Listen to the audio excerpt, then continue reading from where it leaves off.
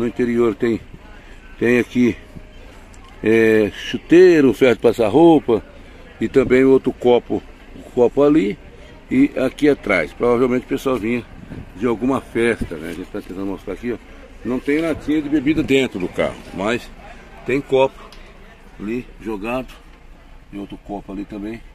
E tem um chapéu, com certeza eles estavam vindo aí da festa do peão. Esta é a informação que a gente está passando para você, né? até então, para tentar ver o que teria acontecido. Você está vendo aqui, ó, a árvore completamente arrancada e o fato ocorreu agora por volta das 10h15 da manhã. Então quer dizer que o veículo aqui, ó, um poste, você está vendo o poste, todo esse maranhado aqui de fio, que a Electro agora vai ter que arrumar. A Polícia Militar está ali, lá embaixo está a Electro, para tentar, claro, livrar o pessoal de algum problema, de algum curto-circuito. O que você está vendo é que a rua ficou completamente interditada e a fiação, claro, toda caída aqui porque a caminhonete perdeu o controle lá em cima, veio descendo e parou aqui. Não dá pra gente saber realmente é, de onde é o carro, porque já é aquela placa